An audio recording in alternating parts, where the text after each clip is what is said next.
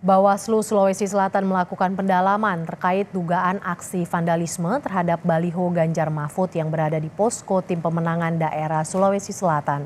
Ketua Bawaslu Sulawesi Selatan, Mardiana Rusli mengatakan pihaknya saat ini tengah melakukan pendalaman terkait adanya laporan dugaan vandalisme di baliho Ganjar Mahfud yang terpasang di posko tim pemenangan daerah Jalan Jenderal Sudirman, Kota Makassar, Sulawesi Selatan.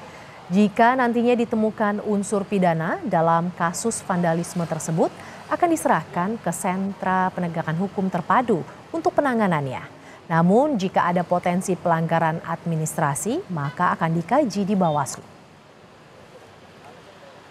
serta-merta melakukan uh, penindakan, tapi ada kajian hukumnya, uh, legal opininya, termasuk dengan material uh, for, syarat formal dan material apakah terpenuhi.